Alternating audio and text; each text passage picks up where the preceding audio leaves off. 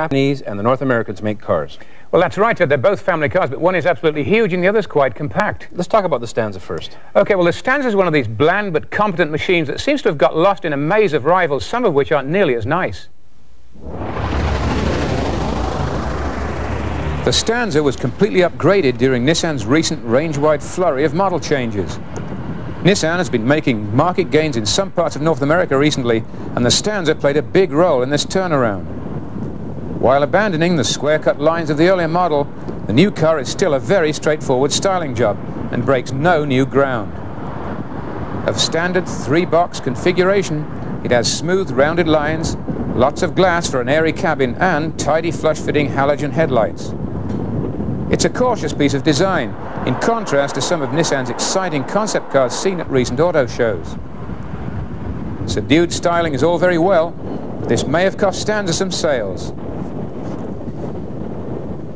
But put aside styling and you have a car that's very hard to find fault with. Power comes from an engine Nissan claims is the most powerful in its class with 138 horsepower. It's a 2.4-litre 12-valve unit with lots of torque to back up its smoothness and response.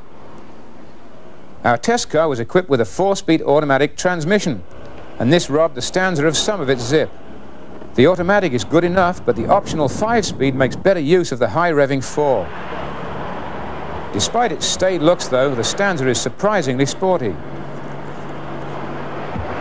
You'll reach 100 kilometers per hour in around 10 seconds. And fuel economy is pretty good at about 9.5 liters per 100 kilometers for all-around driving. Stanza start at around $15,000. And Nissan's basic warranty is three years or 80,000 kilometers. The front-wheel drive Stanza is equipped with Nissan's innovative viscous coupling limited slip front differential. Without getting mired in technical details, this award-winning concept helps traction cornering and straight-line stability on slippery roads, a great safety bonus.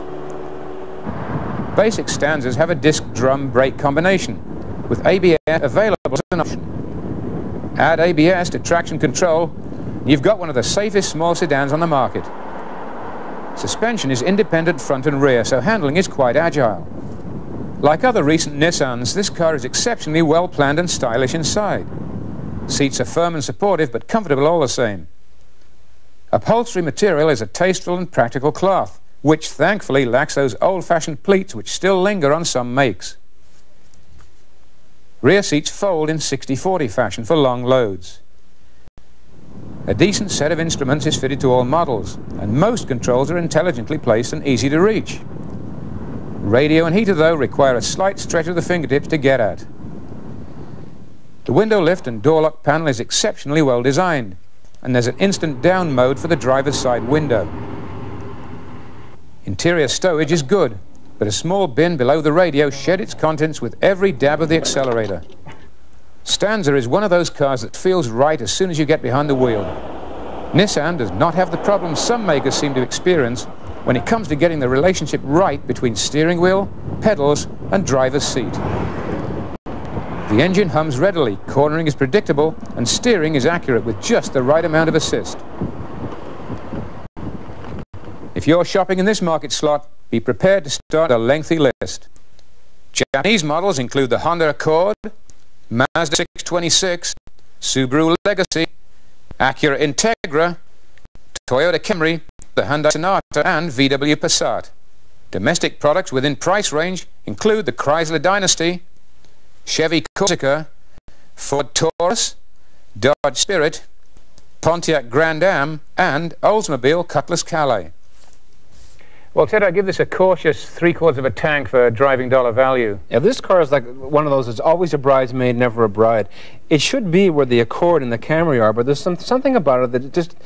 I don't know what. It's, it's well, I too think that, bland. I think. Yeah, is it is problem. bland. I think that's its problem. So it's a wonderfully competent little car, mm -hmm. but it's very bland. And when you look at some of the things that Nissan's been doing lately, experimentally speaking, mm -hmm. and at shows and so forth, all kinds of them, they should really let their designers loose with this car. I agree. And, yeah. and give them some some. It's a very good freedom. car. It has some excellent engineering features. For example, the um, the viscous front coupling. Well, what that does in essence is that removes front wheel spin spin during acceleration on slippery surfaces. Not many front drive cars have it, and it's a very good feature to have. It's a very good feature, and of course, as a family. I'm very big on safety features on family cars. This is a family car, mm. and four-wheel drive is mm. great on family cars yeah. because it gives you that extra safety.